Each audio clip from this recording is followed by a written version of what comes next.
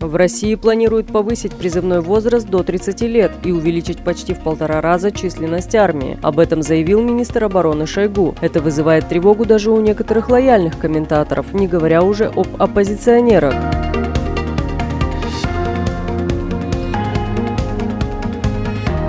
Николай Митрохин. Основное событие дня – не Зеленский в Вашингтоне и новый пакет американской помощи, включающий систему Патриот, а объявленная Путиным и Шойгу новая реформа российской армии, отменяющая, по сути, многие достижения армейской реформы 2008 года. Тогда армия стала компактной и почти профессиональной.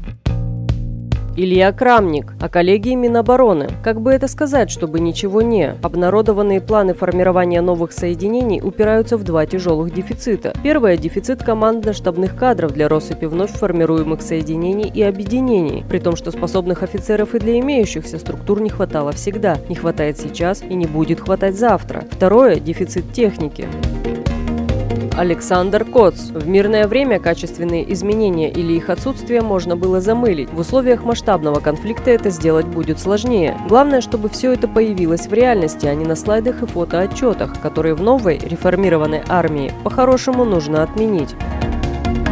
Денис Греков. Собственно, главное во всем, что озвучил сегодня этот потный Шойгу, это увеличить возраст призыва граждан с 18 до 21 года, а предельный повысить до 30 лет. Это и есть план по окончательному превращению страны в тоталитарную помойку через уничтожение любой негосударственной составляющей в российской экономике. Перманентный убой наиболее перспективного репродуктивно, трудоспособного и состоявшегося мужского населения. Промывка мозгов и внутренние репрессии прилагаются.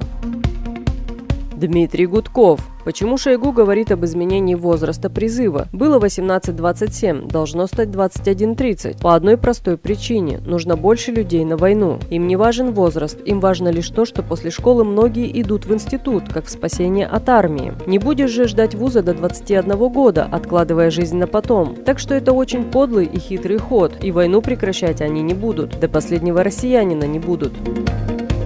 Олег Козловский. Для удобства призывной возраст в России приравняют к пенсионному.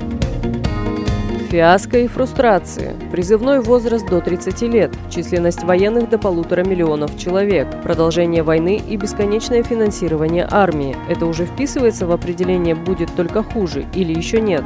Полную версию подкаста «Цитаты свободы» слушайте на нашем канале. Ставьте лайк и подписывайтесь.